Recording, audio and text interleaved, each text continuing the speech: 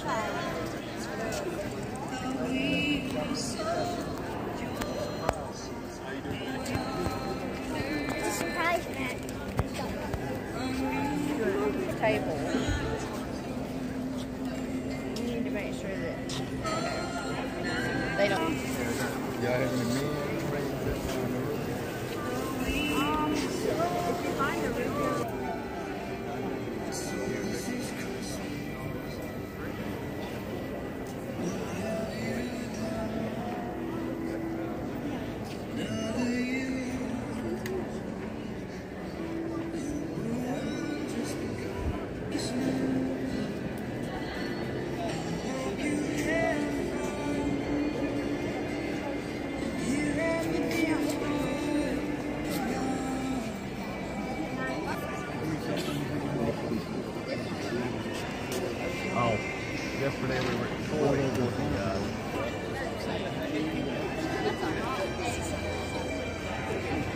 Oh.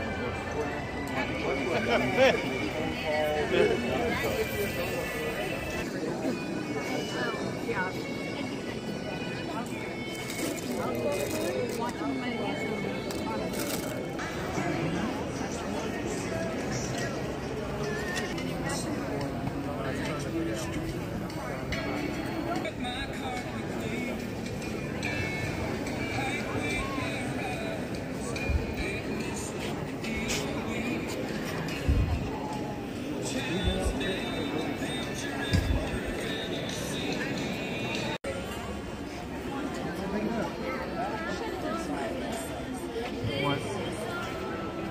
Careful.